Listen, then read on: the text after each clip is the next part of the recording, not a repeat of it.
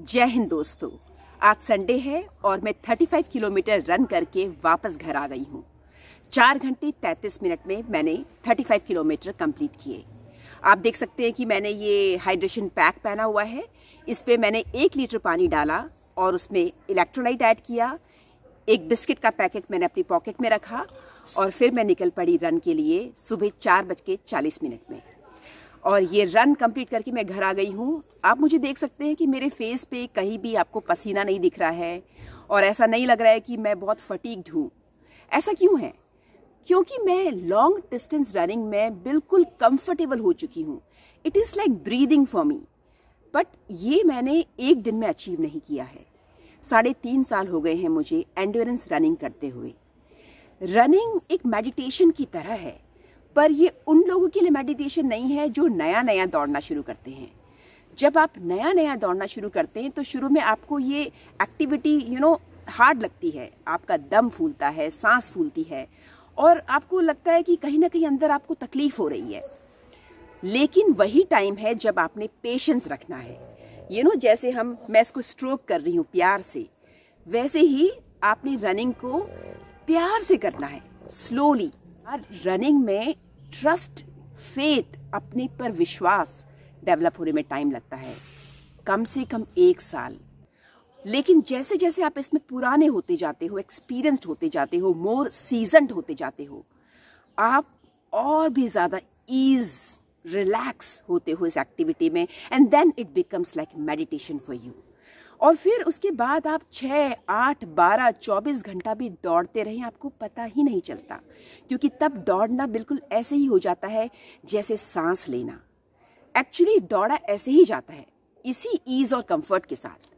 अगर आप long distance running कर रहे हो और आपको तकलीफ़ हो रही है, आपको एफर्ट फील हो रहा है तो उसे हम सही तरीका नहीं बोलेंगे दौड़ने का। That is not called endurance running endurance running is suppose to be easy comfortable हाँ जब कभी कभार हम रेस करते हैं, उस समय हम थोड़ा ज़्यादा करते हैं you know you come out of your comfort zone and you try to give more than hundred percent in race but not in training training के दौरान आपने ये नहीं करना है। तो मैं भी यही करती हूँ। आप मेरा स्ट्रावा का रिकॉर्ड देखिए। मेरे सारे रन बिल्कुल इजी पेस में होते हैं। पर आप मुझे जब आप रेस पे देखेंगे तो आपको विश्वास नहीं होगा, ये वही लड़की है जो ट्रेनिंग में बहुत धीरे भागती है। ऐसा क्यों? वो इसलिए कि मैं अपने आप को तेज दौड़ने के लिए कभी कभी ही चैलेंज करती हूँ। जैसे पंद्रह दिन में एक बार, बीस दिन में एक बार या एक महीने में एक बार। अदरवाइज़ सिर्फ़ रेसेस में। क्योंकि मुझे अपने अंदर कॉन्फिडेंस है कि जब रेस का टाइम आएगा, मैं तेज दौड़ सकती हूँ। मुझे रोज रोज तेज दौड़कर अपने आप को ये साबित नहीं करना पड़ता कि I am good I know I am good पर यह कॉन्फिडेंस डेवलप होने में लगभग साढ़े तीन साल का टाइम लगा। मैंने धीरे धीरे रन किया है। बहुत लंबे समय तक लॉन्ग ड्यूरेशन तक धीरे धीरे मैंने अपने आप को डेवलप किया है अपने एंड्योरेंस को मज़बूत किया है और तब जाके मेरे अंदर ये कॉन्फिडेंस आया है। याद रखिए जिस दिन रनिंग आपके लिए मेडिटेशन की तरह हो जाएगी जब आप मेडिटेशन करते हैं तो आपके दिल के अंदर कोई डर नहीं होता।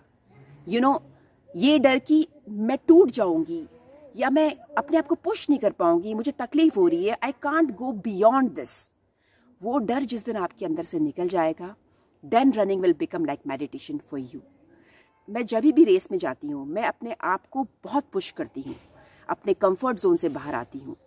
और मैं अपनी उम्मीद से ज़्यादा ही करके आती हूँ जब मैं रेसेस में जाती हूँ। वाई बिकॉज़ उस समय मैं अपने अंदर डर को आने नहीं देती। यू नो डर से आगे जीत है कहते हैं। वही बात सच है रनिंग के लिए भी। तो आप अगर रनिंग नहीं करते हैं तो शुरुआत में धीरे धीरे कीजिए वॉक रन वॉक रन करके कीजिए। जिस दिन आप एक घंटा लगातार बिना रुके दौड़ पाएँगे, आप समझ लीजिए पहला ऑब्स्टिकल आपने क्रॉस कर लिया। उसके बाद बस कंसिस्टेंट रहिए रेगुलर रहिए। आपको खुद ही पता नहीं चलेगा कि कैसे वो दिन आ जाएगा जब आप तीन चार घंटा भी लगातार दौड़ पाएँगे। Eat and run eat and run ultra running का यही मंत्र है। आई होप ये वीडियो आपको यूजफुल लगा होगा। फिर मिलेंगे मेरे नेक्स्ट वीडियो में। तब तक के लिए जय हिंद।